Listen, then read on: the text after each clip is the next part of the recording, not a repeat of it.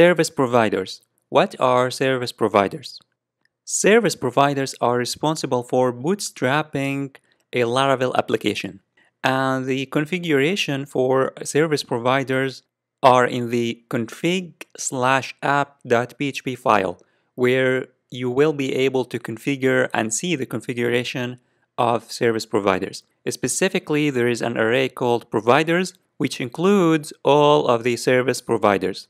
And the good news is that many service providers are deferred, meaning that they will only be loaded when the service they provide or services they provide are actually needed. So many of them will not be loaded unless the services they provide are needed.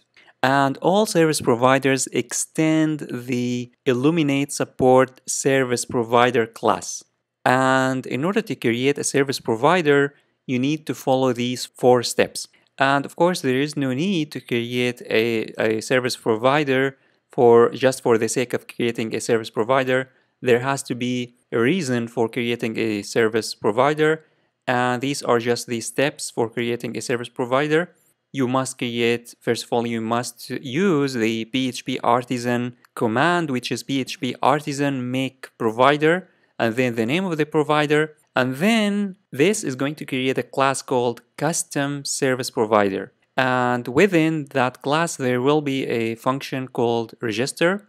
And this method should only bind things into the service container. And to register a view composer within our uh, custom service provider, we should use the boot method, which is another method inside the custom service provider. And then finally in the providers array, we need to import or pass that custom provider class in the providers array. And again, there is no need to create a service provider and the, unless there is a reason for this.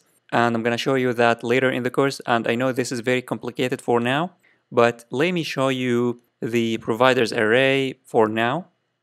So if you head on over to your project and then open the config folder, you'll find that there's a file called app.php if you scroll, you'll find that there's here the providers, and inside these providers, which is an array, there are many providers. And these are the service providers given by Laravel, as you can see. For example, at the end, we have the view service provider, which is responsible for creating the view, which we will see later how you can uh, create views. And this service provider is is responsible for providing the views. So in simple words, without service providers, we wouldn't be able to launch our Laravel project. What is Laravel Facade? Laravel Facade is a static interface to classes that are available in the application. So most of the Laravel classes are available in the Facades package. And it also, the Laravel facade also provides access to almost all of the Laravel's features. For example, if you want to use the route class, you would have to use the illuminate support facades and then the uh, route because the route is inside the facades package and also the storage and also many other classes as well. So let me show you that in the project. If you head on over to your project and open the web.php, which is inside the routes, you'll see that we are using the route class and we statically called the get method. And in order to use the route class, we had to here to use the illuminate support facades and then backslash route.